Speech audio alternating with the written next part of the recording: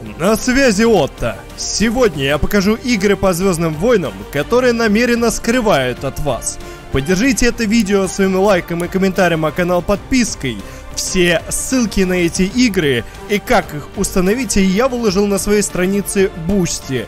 Вы не только поддержите меня, но и получите весь контент, который будет указан в этом видео, а также многое другое по вселенной Звездных войн. Все ссылки ждут вас в описании. Желаю приятного просмотра. Друзья, призываю всех подписаться на наш телеграм-канал. Любопытные факты, эстетика, свежие новости и анонсы. Еще очень многое другое встретит вас в нашем телеграм-канале. Ссылки будут в описании. Что же это за список игр такой? Видите ли, это проекты по вселенной Звездных войн, сделанные фанатами, то есть ценителями. И как вы понимаете, чтобы не делить хлеб, Дисней блокирует эти проекты, не дает им, короче говоря, распространяться, но... Сегодня я решил сделать видео, которое вы смотрите, имеющее намерение пролить свет на эти достойные, поверьте вашего внимания, игры. Они будут делиться на две части – полноценные отдельные проекты и масштабные модификации, меняющие игры до неузнаваемости. Давайте же начнем. В качестве первого проекта я бы хотел выделить мобильную игру от российского разработчика под названием Star Wars The Road to Force.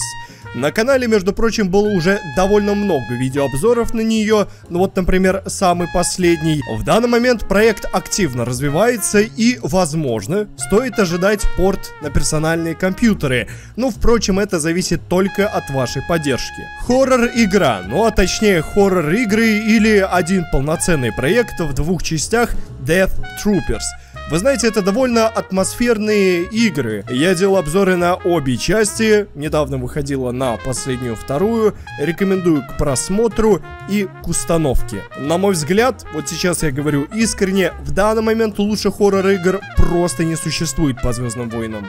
И третья, экшен-игра, которая, как и первые две, находится в активной разработке и ее продолжение зависит только от вас. Называется она Star Wars Redemption. И это, пожалуй, один из лучших проектов, когда-либо выходивших из-под пера поклонника. Здесь вы играете за джедая и новое подразделение клонов. Впрочем, сотрясать воздух я не буду, ибо на канале уже выходил не один обзор об этой игре, можете тоже ознакомиться. Наконец, вторая часть, масштабные модификации, меняющие игры до неузнаваемости. Но, разумеется, первая песочница Гаррис Мод режим Star Wars. Вы знаете, это, пожалуй, один из самых доступных вариантов.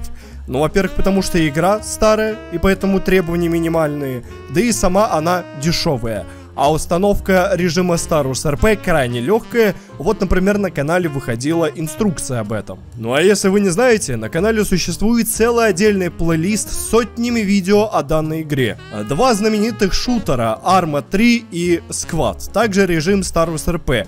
Я решил соединить эти две игры вместе в силу их крайней схожести. Ну, разве что аудитория этих игр разная. В армии, как известно, преобладает русская комьюнити, в то время как в сквад англоязычная. Ну или, по крайней мере, в режиме Star Wars RP точно. Они уже несколько более требовательные, чем Гаррис мод и по цене, и по требованию компьютера, поэтому имейте в виду. Обзоры на них также выходили, а по армии вовсе выходят ролики по сей день.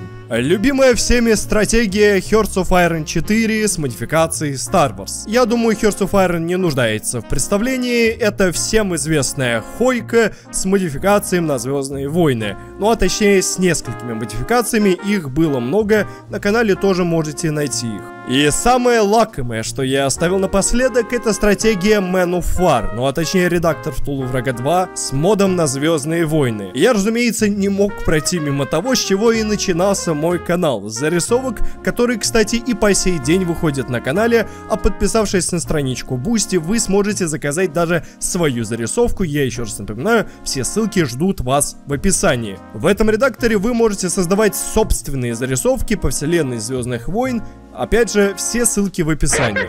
Итак, в данном списке были собраны, на мой взгляд, достойные внимания и активно развивающиеся проекты ценителей Звездных войн. А какой больше всего понравился вам? Пишите в комментарии, и если вы знаете какие-нибудь игры еще, также, конечно, оставляйте их, мы обязательно посмотрим. Ну а это конец видео. Обязательно подпишись и поставь лайк. С тобой был Отто, еще увидимся.